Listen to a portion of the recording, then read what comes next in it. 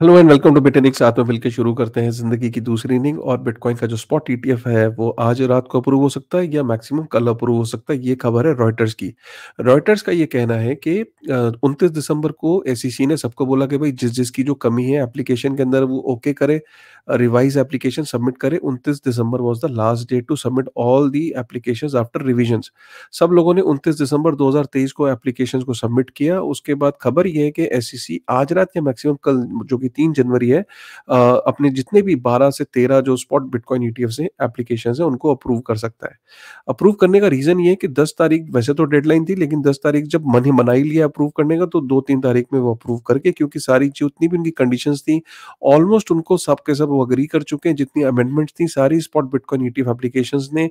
अपनी एप्लीकेशन को अप्रूव करके एस e की जो एक्सपेक्टेशन थी, उनको मीट आउट करके एप्लीकेशन सबमिट कर दिए हाई चांसेस है कि दो या तीन तारीख में ये अप्रूव हो गई अप्रूव होने के छह सात दिन का टाइम मिल जाएगा इन कंपनीज़ को कि वो दस तारीख को स्पॉट बिटकॉइन ईटीएफ जो है वो लॉन्च कर सकेंगे प्रोडक्ट मार्केट के अंदर। तो आप समझ सकते हो कि इसीलिए ये मोमेंटम है कि आप देख रहे हो कि बिटकॉइन जो है वो पैंतालीस हज़ार यूएस डॉलर को क्रॉस कर गया।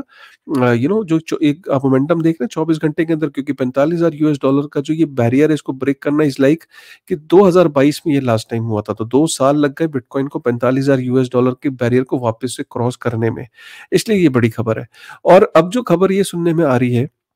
रॉयटर्स के द्वारा कि ये एप्लीकेशन अप्रूव होते ही राइट बिटवाइज करके जो है, आप वो खबर देख सकते हो कि यू नो ब्लैक रॉक का ये रिपोर्ट है, जिसमें BlackRock VanEck among asset managers that submit updated filings for spot bitcoin ETF ये इस खबर को मैं लिंक पर डाल दूँगा। आप यहाँ देख सकते हो कि बिटवाइज ये कह रहा है कि Bitwise ETF might buy 200 million US dollar worth of bitcoin इसका मतलब क्या है कि अगर बिटवाइज ने ये बोला है कि वो 200 मिलियन यूएस डॉलर का बिटकॉइन जो है, वो you know bitcoin 200 million US dollar के फंड से शुरुआत कर सकता है।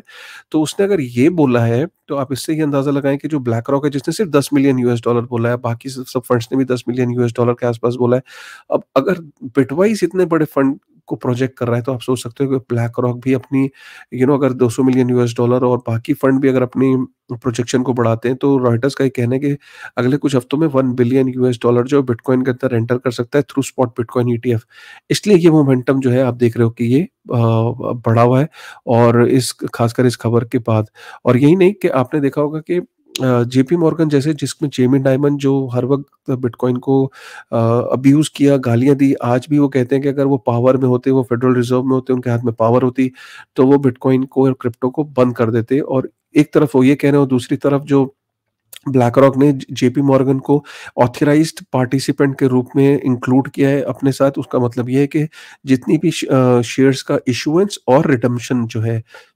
कोई भी कंज्यूमर को जो इशुएंस है और रिडम्शन इसको जो जो कंपनी देखेगी, वो जेपी मॉर्गन है, वो इंश्योर करेगी कि buying selling and redemption of bitcoin spot ETF जो कन्वर्जन होके बंदे के पास कंज्यूमर के पास डॉलर पहुँच जाए उसको फैसिलिटेट करने के लिए जेपी मॉर्गन की सर्विसेज़ जो है वो हायर गेम ब्लैक रॉक ने। तो एक तरफ़ जेपी मॉर्गन जो है वो बिटकॉइन के अंदर अपॉर्चुनिटी ढूंढ रहा है पैसे कमाने के लिए और एक दूसरी तरफ़ जो उसका सीईओ है, वो गालियाँ दे रहा है बिटकॉइन को तो ये हिपोक्रेसी नहीं तो और क्या है राइट तो ये हो गया आपका खबर इसकी। और हम देख रहे हैं कि एक तरफ़ से डिमांड बढ़ने की उम्मीद है। डिमांड जिस तरीके से ये जो एंटिटीज हैं, जो स्पॉट बिटकॉइन ईटीएफ एप्लीकेशन जिन्होंने अप्लाई किया है, वो इतना बड़ा पैसा अगर बिटकॉइन में डालने के लिए तैयार है और डिमांड बढ़ रही है और इधर से एक्सचेंजेस पे से ऑलमोस्ट बिटकॉइन अपने ऑल टाइम लो पे पहुँच गए इन टर्म्स ऑफ़ सप्लाई ये रिज़र्व जो है वो एक्सचेंज पे बहुत कम हो गए क्योंकि लोगों को लग रहा है कि अब ईटीएफ के आने के बाद बिटकॉइन का प्राइस बढ़ सकता है। तो as a store of value narrative को चलते हुए बिटकॉइन को एक्सचेंजेस से हटा के लोग अपने कोल्ड वॉलेट्स में डाल रहे हैं। सो ये हमें देखने को मिल रहा है। एक और जो खबर है। दूसरी खबर ये कि जब भी जो हार्वनिंग का ईयर होता है, जैसे पास्ट में भी देखा गया और अब भी जो 2024 हावनिंग का ईयर है, जैसे और ऐसे पहले जो सेकंड हावनिंग थी फ़र्स्ट हावनिंग थी, आप ये देख सकते हो कि फ़र्स्ट हावनिंग में यहाँ पे इवेंट था दिसंबर में, उसके बाद से वहाँ पे बुलिश सेंटीमेंट देखा गया उस उस पर्टिकुलर साल में। अगर हम सेकंड हार्वनिंग में देखें तो ये सेकंड हार्वनिंग का साल है येलो वाला। इसमें भी आप देख सकते हो कि बिटकॉइन हार्वनिंग के बाद किस तरीके से पंप किया। ऐसे थर्ड हावनिंग में देखें हावनिंग के बाद बिटकॉइन कैसे पंप किया। और ऐसे ही अब जो फोर्थ हार्वनिंग है, उसके अंदर भी यू नो अगर हम सिमिलर पैटर्न्स को देखें पास्ट के तो बिटकॉइन हावनिंग वाला जो ईयर होता है, उसके बाद bitcoin generally does well right उन इन दैट पर्टिकुलर ईयर और हम ये देख रहे हैं कि बिटकॉइन के ऊपर जो नेटवर्क के ऊपर जो ट्रांजेक्शन है, वो सात लाख इकतीस हज़ार ट्रांजैक्शन हुई न्यू ईयर ईव पे, जो कि एक अपने आप में रिकॉर्ड है ऑल टाइम हाई है। इसमें ऑब्वियसली जो 42 परसेंट जो रोल है, वो ऑर्डिनल्स का है। ऑर्डिनल्स का करीब 42 परसेंट शेयर शेयर का मतलब है कि ऑलमोस्ट 50 परसेंट जो है वो ऑर्डिनल्स की ट्रांजेक्शन है। तो ऑर्डिनल्स के आने के बाद बिटकॉइन की जो ट्रांजेक्शन है, वो पड़ी है। सात लाख इकतीस हज़ार ट्रांजेक्शन है। और सबसे बड़ी बात माइनर्स बहुत खुश है, क्योंकि miners are having a very good time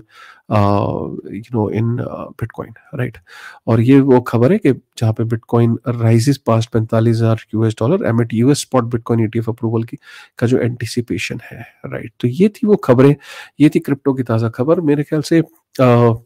आ, मेरा ये ओपिनियन है कि spot bitcoin ETF already priced in है। मतलब ऐसा नहीं कि अब लोग जग रहे हैं या अब वो you know bitcoin spot ETF की जिस दिन से ब्लैक रॉक ने अप्लाई किया था राइट तब से हम एक मोमेंटम देख रहे हैं प्राइस के अंदर। तो प्राइज्ड इन है काफ़ी सारी चीज़ें। लोगों ने ऑलरेडी कोई आज उनको एंटिसिपेशन नहीं एंटिसिपेशन बहुत टाइम से अप्रूवल की। हमने भी कई वीडियोस बनाए लेकिन अब ऑब्वियसली कितना पैसा स्पॉट बिटकॉइन के थ्रू आता है क्या मोमेंटम बनता है? वो अगले एक एक, दो हफ़्ते बड़े क्रूशल है, वो वो क्लैरिटी दे देंगे। एक मोमेंटम दे देंगे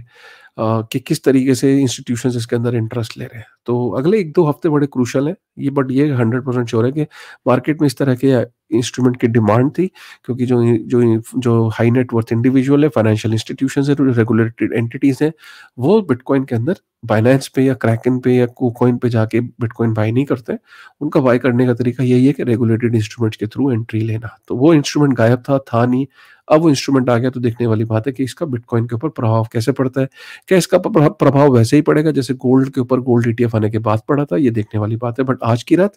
और कल का दिन बहुत इंपॉर्टेंट है। इन दोनों दिनों के अंदर मतलब अगले 24 से 36 घंटे के अंदर बिटकॉइन के स्पॉट ईटीएफ के अप्रूवल की अप्रूवल आ सकता है और अगर आता है तो देखने वाली बात होगी। अगर अप्रूवल जिस दिन आएगा, जैसे ही आएगा, हम ट्वीट करेंगे। हो सकता है मैं लाइव भी करूँ, चाहे थोड़ी देर के लिए करूँ बट ऑब्वियसली एक हिस्टोरिक मोमेंट होने वाला है अगले कुछ दिन आ, कुछ घंटों के अंदर। चलिए with that thank you very much